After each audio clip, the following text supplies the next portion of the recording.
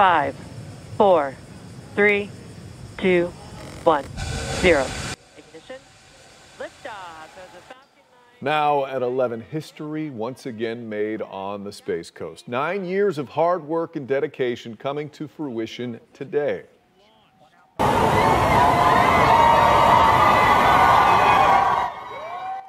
Thousands of people packed the beaches as we all watched history, all made right here in Central Florida. Tonight, the astronauts are safely in orbit after the sweetest launch from the Space Coast in nearly a decade on a commercial rocket.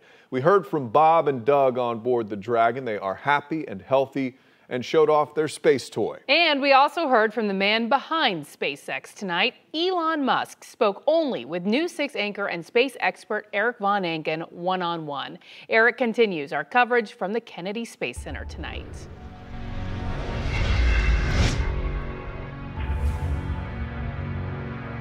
Elon Musk tells me tonight he's focused on tomorrow when the astronauts will dock with the International Space Station. Right now, the astronauts are sleeping at least as much as anyone can who just took America back into space from the Space Coast.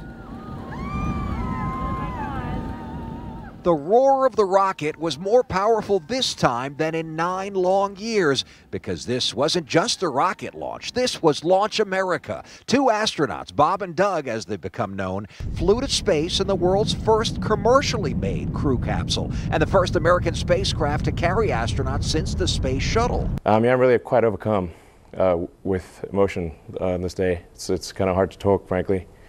Um, it's been 18 years working towards this goal, so it's, it's hard to believe that it's happened. Elon Musk, the founder of SpaceX and visionary behind Falcon 9 and Dragon, pushed for perfection. And at the last minute, it was all of it the weather, the rocket, and the crew, especially. As tough as it must have been to say goodbye to their astronaut wives and adoring sons, these two military test pilots were eager to try out this brand new flying machine. SpaceX Dragon for 4.042 even flying Dragon themselves with the touchscreen briefly before turning autopilot back on. Their 12 minute ride on the rocket delivered them into orbit. Their zero gravity indicator, a glittery, stuffed dinosaur, confirmed they had made it.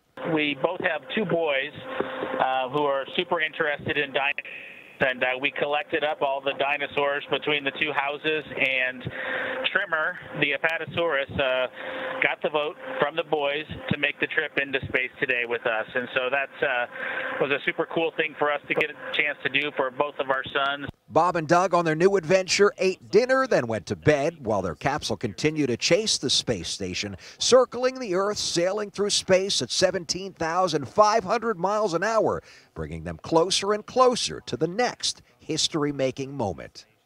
That moment will come at 10:29 a.m. when Dragon attaches to the ISS. They open the hatch and the astronauts float inside for the first time from an American spacecraft in 9 years. Musk tells me after that he can begin to relax it a little bit. Also in my one-on-one interview I asked him, "What does this mean to right here, the Space Coast?" Very much appreciate the, the support of the Space Coast and all the, the people in Florida. Um, that uh, have, have helped us get here. And I think there's going to be uh, a lot of excitement, a lot more activity. Um, we're going to be obviously sending a lot of astronauts to the space station and hopefully the moon uh, and Mars uh, uh, right here from the Space Coast.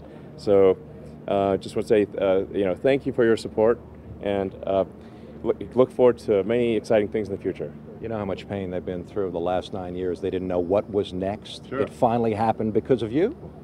Well, it, it you know I think uh, there's uh, there's a lot of people to uh, uh, to thank for the progress here. Um, a lot of appreciation for the, the, the current and the prior administration, uh, NASA and the current and, and former president to, to, get to this point.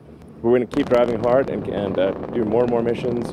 I, I think it's, it's, just to give you a sense of, of scale here, I think we're going to do um, more payload from from Space Coast to orbit than uh, the, all other rockets combined this year.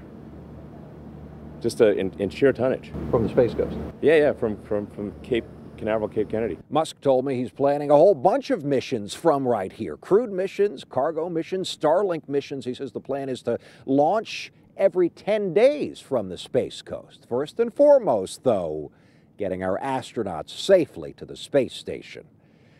At the Kennedy Space Center, Erik VonAncken getting results News 6.